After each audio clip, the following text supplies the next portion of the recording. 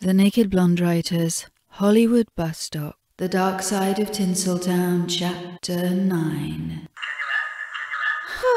Say,